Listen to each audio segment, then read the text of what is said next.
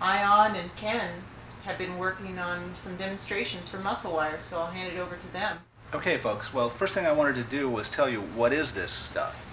We're going to show it now. Ion has gone has built some kits and some other things. He's going to come in and demonstrate um, one of them here in just a second. But I'll I'll put this here. This is going to be a little hard to see, and we'll have to zoom in on parts of it because of the fact that they're um, you know they're very small. Uh, this is a basic experiment book together with the kit, which we're going to use here to explain some of these things. All right, so that was the that was the plug for the book. Um, I recommend this kit. It's a lot of fun, and the whole purpose of it is to build this little guy. And this little guy is a um, a six-leg walking robot.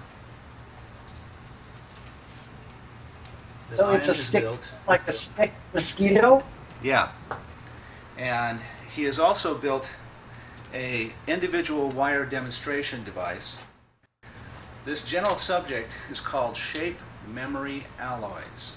And shape memory alloys are these metals. As the name says, they're alloys, so they're a combination of two elemental metals usually, although there can be more. And in this particular case, we're going to be demonstrating with a wire, which is often called muscle wire or flex flexinol, and it's it's commonly known as nitinol, which is a combination of titanium and nickel atoms. Yeah, can we can we see what we've got going Mhm. here?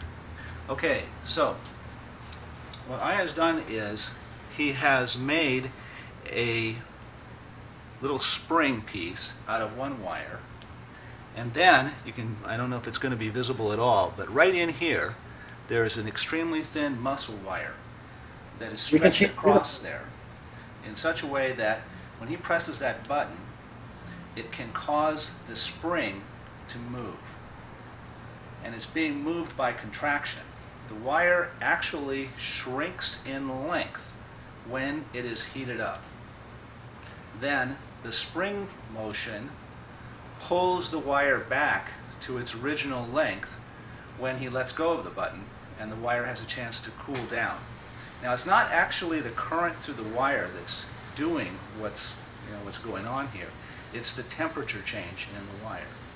And that temperature change is causing a, an effect that happens way down on the atomic crystal level in this material. Because it was found out that this particular combination of elements, when they are uh, put together in the right way, will form crystals that have two possible shapes. And those possible shapes, just for those who are interested in sort of the, the technical part of it, are called the Martensite shape and the austenite shape. And I'll, you know, I'll do a little hand waving here. So, um, a lot of the, there are two different kinds of shapes that the uh, the atoms can be packed into the crystals in this material. And in one shape, they are like a box. And so you can imagine, you know, all of the atoms lined up on nice square grids.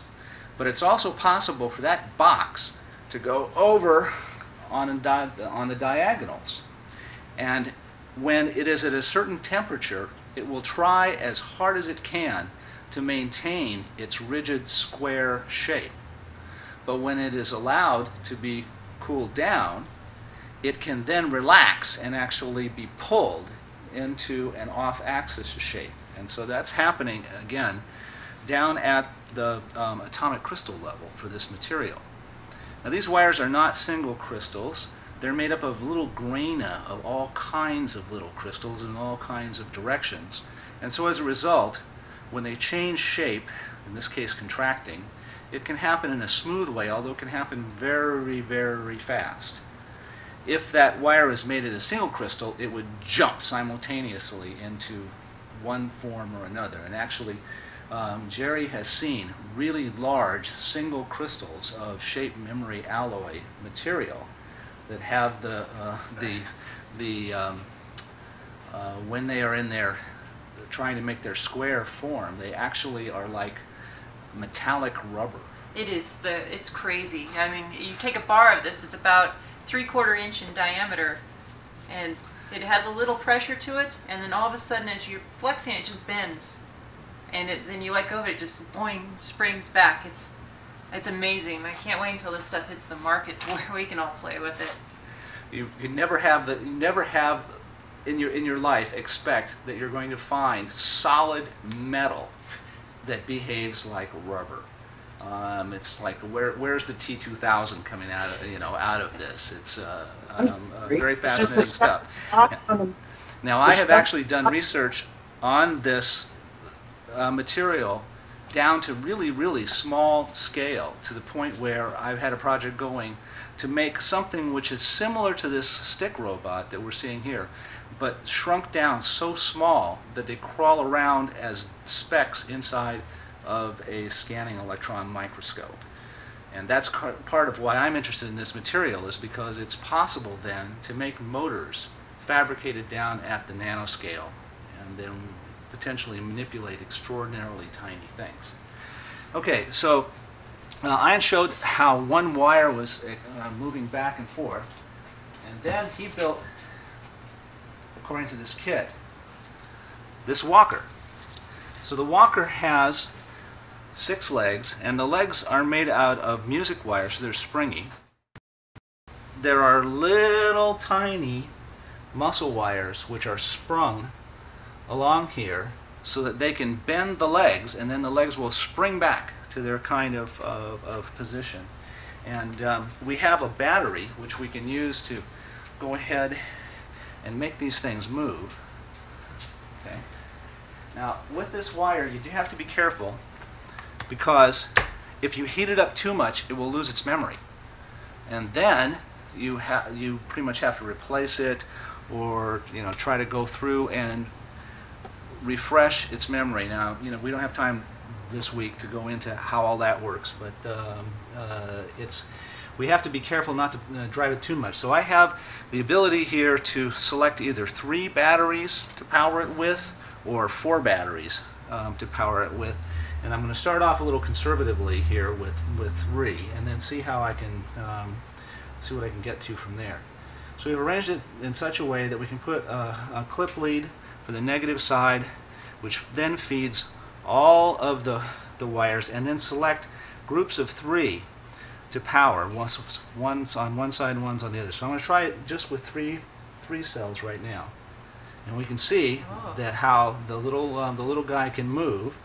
He's moving based on just me hitting one side. And then this is the other side, which takes it in the other direction. So what you would do is you would alternate either manually or with a controller, one side or the other, to get this guy to move around. You can also get a more complicated microprocessor control where you're controlling each leg independently.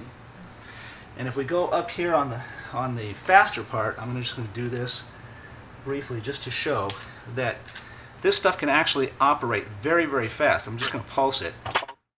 So you can see that the things, if you put more power in them, you're changing the temperature uh, more quickly and they can respond very, very fast.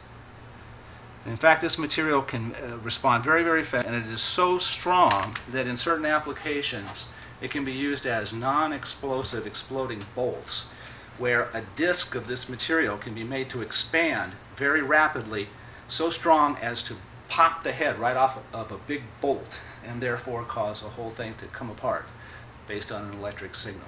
So if you see here, it's like this here is the Stiquito itself, and then has like another little piece where you can like do like one set of legs or the other set of legs. So it has a little control that's part of it.